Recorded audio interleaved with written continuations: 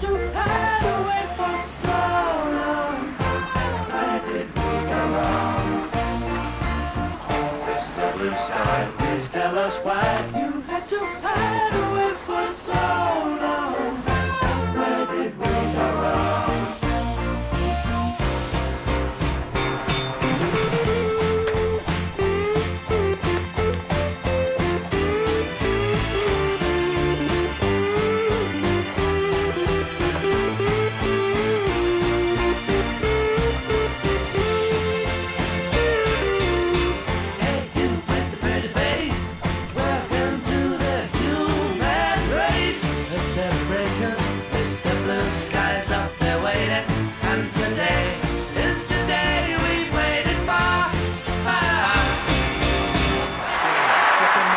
Dreams really do come true here at Wimbledon, and there's the proof.